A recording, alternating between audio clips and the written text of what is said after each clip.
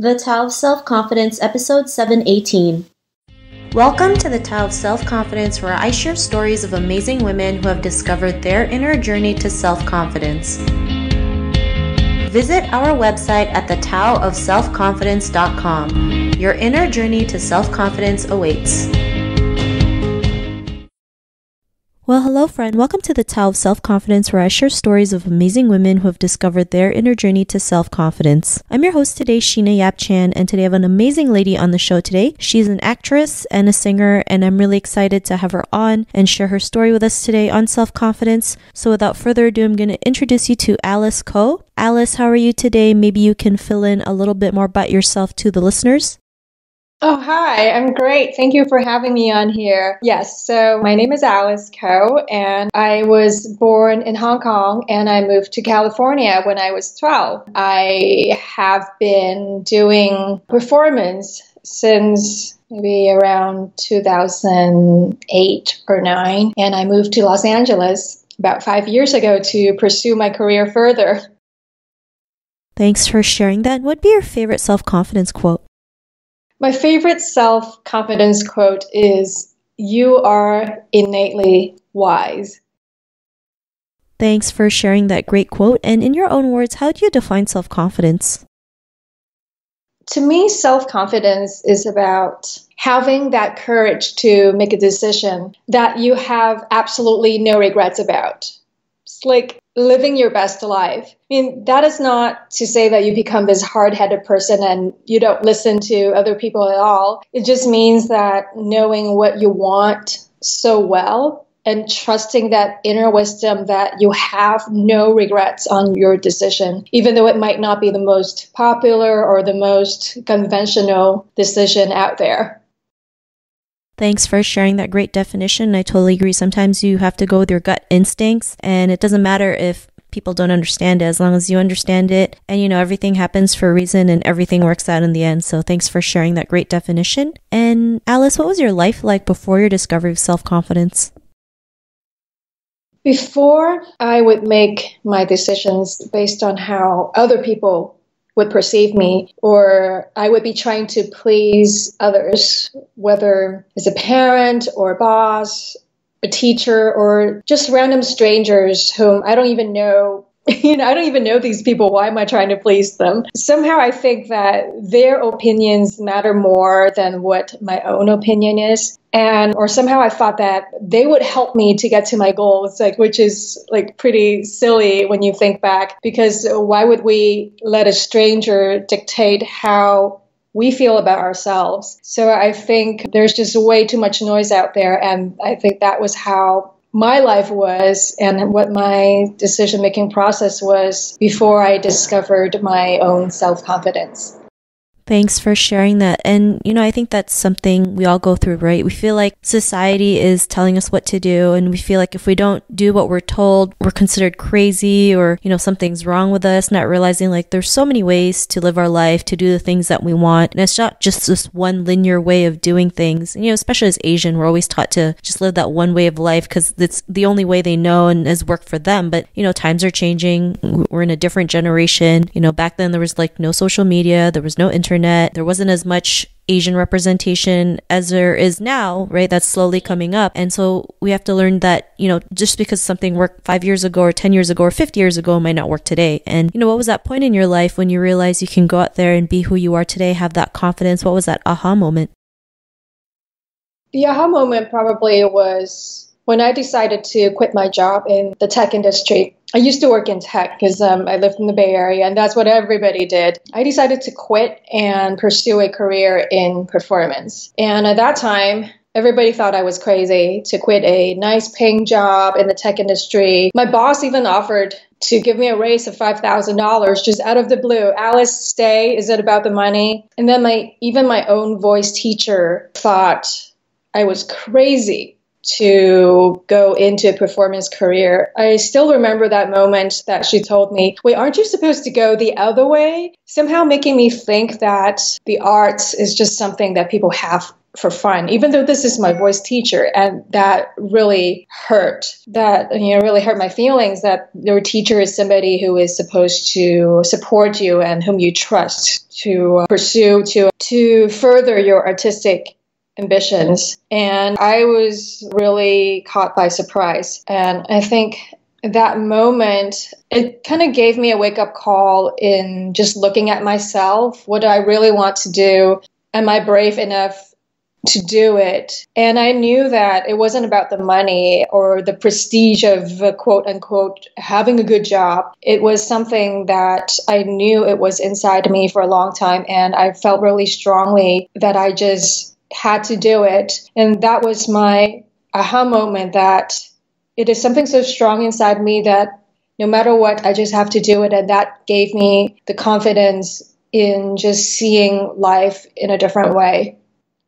Thanks for sharing that. And you know, it's you know, it's not always easy to quit some quit a job, right? Especially a stable job to do something you love. When you have friends and family who tell you, "What are you doing? Are you crazy? Why would you quit something so stable, something that gives you that, you know, stable paycheck and you're going to do something that you have no idea what's going to happen?" And you know, I think it's because we've also been programmed to to you know, expect the paycheck, expect the job, expect this. So many expectations that we we are so afraid of the unexpected. We're so afraid of the unknown, not real, not realizing we can actually embrace it. And you never know what opportunities may come to us, right? You know, just because someone offered you an extra five thousand dollars, I mean, when you think about it, that's not a lot, right? I mean, there could be more. There could be another opportunity that could you know, offer you two, three times that amount, but you won't know because you wouldn't take that leap of faith. And, you know, you were able to. And because of that, what's your realization after that? So, my realization after that, I just realized that I was much happier than before, even though money might not be the same because, you know, in the arts, you, it's like really hard to be conventionally successful. And I like to use the word like conventionally a lot because what is it? What really defines su- success, right? It's all about what you want. So I think like after that decision, I was definitely much happier before. And I feel, and I felt really empowered because I was doing something that I've always wanted. And I felt that trusting that innate self allowed me to build that self confidence that comes like afterwards, like years and years to come. And it has like freed me from the need to be validated by uh, others around me. And I think, strangely enough,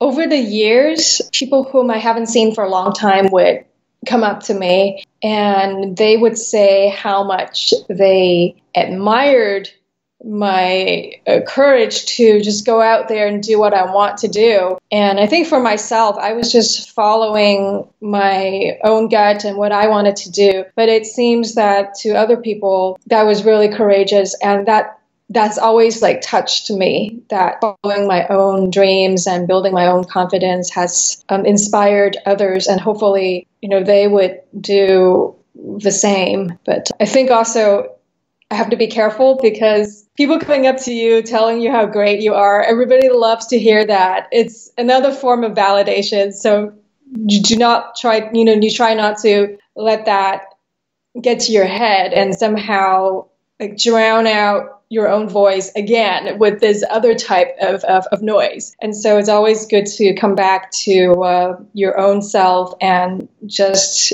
really, really stay true on what you want so I think um, I don't know. I don't know if I answered your question. I just like started going off there.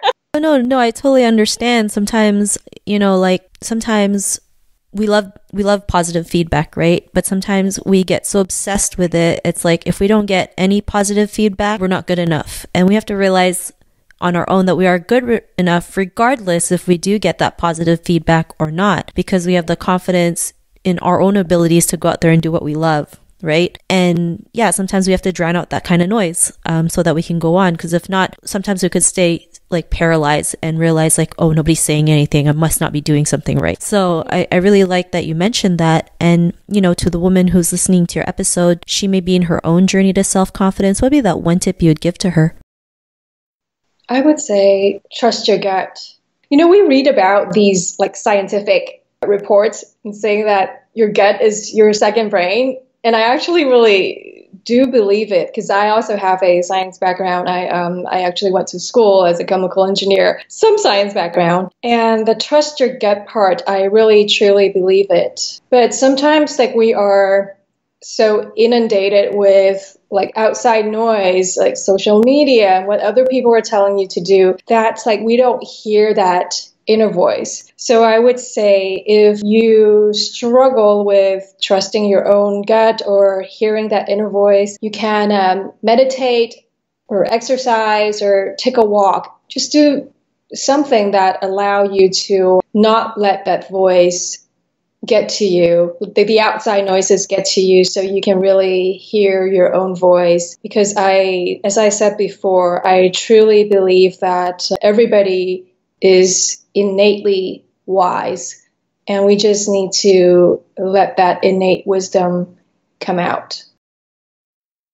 Thanks for sharing those great tips. And if our listeners wanted to get to know a little bit more about you and what you do or check out some of your work, is there any links or social media profiles we can connect with? Uh, yeah, I have a professional link on IMDb, and it is www.imdb.me slash Alice Ko. A L I C E K O. Thanks for sharing that. to our listeners, if you want to connect with Alice, you can also head on over to the taoofselfconfidence.com and search for Alice's name. Her show notes will pop up along with everything else that we talked about. And I really just want to thank Alice today for taking the time to share her story and tips with us on self confidence. So thank you so much, Alice. Thank you for having me. Not a problem. It was really great having you on the show. And to our listeners, be on the lookout for another new episode of another amazing woman's journey to self confidence. And we'll talk to you soon. Bye for now. Bye. Thank you for tuning in to another amazing episode of The Tao of Self Confidence. Get your free audiobook by visiting our website at thetaoofselfconfidence.com. Your inner journey to self confidence awaits.